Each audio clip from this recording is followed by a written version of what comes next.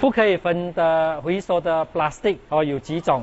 第一，好像这个发啊 plastic 的，它的这个塑料它是薄，可是很硬，它这个是不可以回收的。还有呢，这种一次性的塑料哦，一次性塑料都基本上都是不可以回收。这种你可以看，哦，鸡蛋哦，买鸡蛋盖在鸡蛋的，或者是你买水果他们来放哦，这些都不可以回收。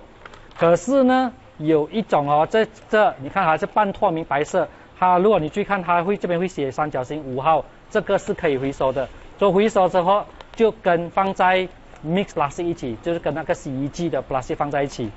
还有呢，塑料的叉、汤匙啊，或者是平时我们来切 cake 的 plastic 刀也是不可以回收的。